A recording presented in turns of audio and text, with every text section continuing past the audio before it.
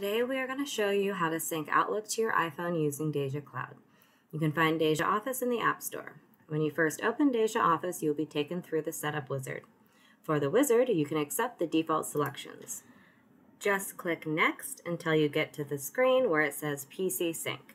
Choose DejaCloud Sync. If you need to create a DejaCloud account, follow the setup guide and link below.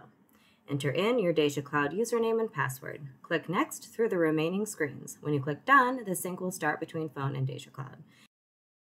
Now we move over to the PC to open CompanionLink. If you need help downloading and installing CompanionLink, see the video in the link below. After opening CompanionLink, click Settings. On the left, under From, choose Outlook. On the right, under With, choose iPhone and sync via DejaCloud. Click OK in the bottom and then choose Yes when it asks you if you are ready to begin synchronizing. You can watch the sync progress in the CompanionLink screen as shown here.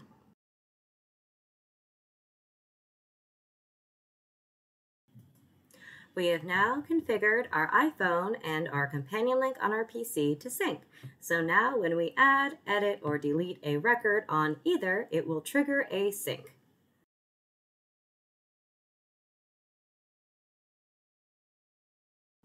Now you can add a new event in Outlook and choose the red category.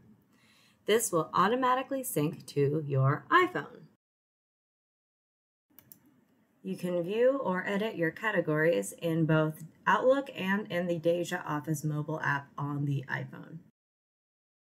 On the iPhone, the calendar event is here, and you can see the same category as in Outlook. Thank you for watching. Please click like and subscribe.